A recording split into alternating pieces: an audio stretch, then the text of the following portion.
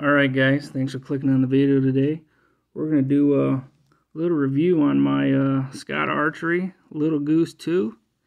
And if you could, uh, like, subscribe, and leave a comment below. Tell me what uh what release you use and why you use it. Let's get a little discussion going down there. I know a lot of you guys that watch my videos are, you know, longtime bow hunters. Most of y'all better than me. So let's get a little discussion going, you know, talk talk to each other, help each other out a little bit. So, uh, yeah, let's get into it. And uh, it's got a new slim down compact outdoor green colored design. It's got a leather wrist strap with some neoprene padding here for comfort. It's uh you can get it in camo or black.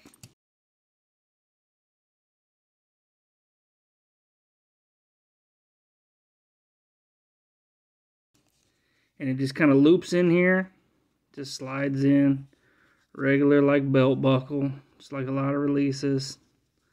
And it just kind of loops in here. Real easy nothing to it just like that.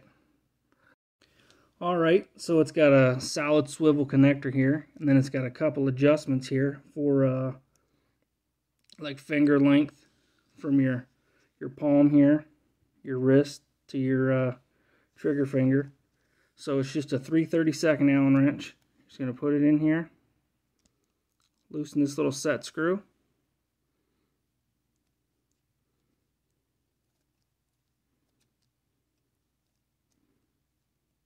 Loosen that up. And you can slide this up and down. It's as easy as that. I'm going to put it back down here in the bottom because that's set for me.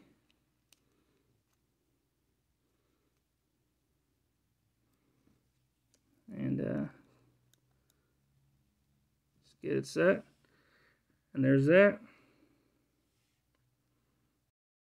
All right it's also got a forward position knurled trigger design. What that means is like uh, it's just a machining process here on the trigger. That's what knurl means. It's just uh, it's got some texture to it. It's not just a smooth trigger. And uh, it's got a patent angle jaw design for better string clearance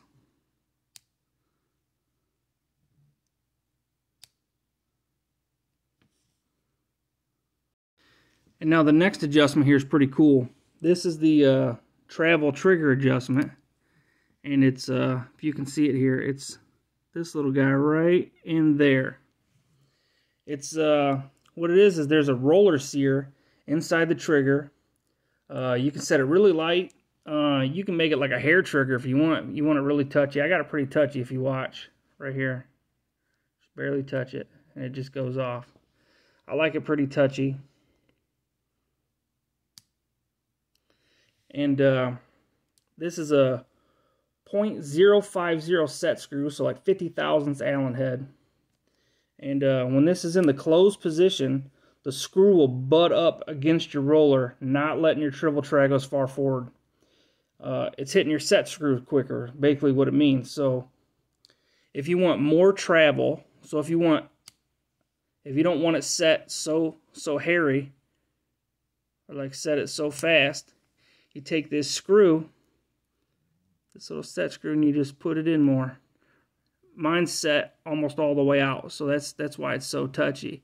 But if I just want to set it farther in, I'll just turn it in more and show you.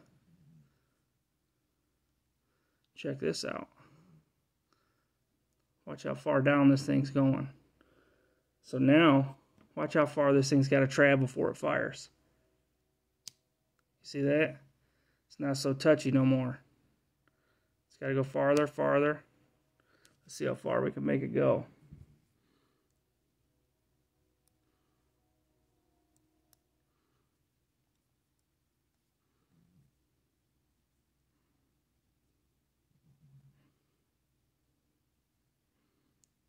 that's about it. I don't want to strip it. If you see, I'll go slow. So it's going all the way down. Let me get it better for you. So it's going all the way down here now. Look how far that's got to travel now. Now it's starting to open. starting to open. I'll go I'll go fast. So I'm Now let me loosen it back up and show you how I like it. I like it so this sucker's almost sticking out.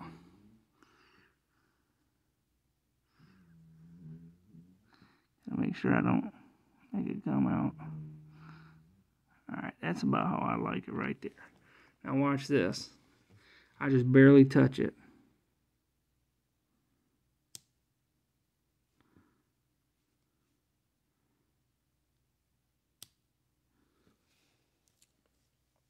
So uh so if you if you screw it in, the farther you screw it in, the more travel speed, the more travel you have.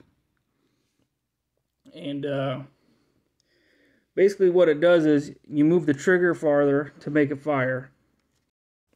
You know, so if you if you want it kind of they say they say hairy in the video on the on the website. So if you want it real touchy, like I like it pretty touchy. This might not even as like that's not even as much as I like it. Let me loosen it up a little bit more.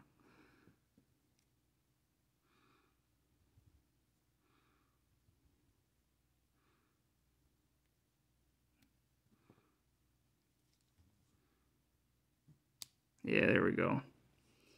So if you want a little hair, you just back that screw out, and what it does is it just it just it hits that roller quicker, that roller sear quicker, and it decreases that travel makes your release fire just that much quicker.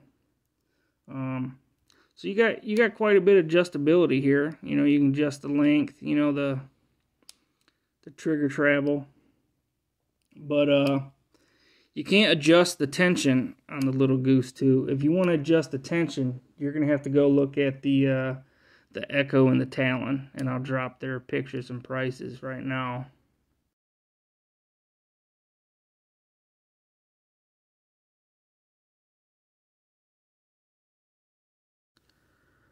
Alright guys, this is the uh, Little Goose 2 here from Scott Archery.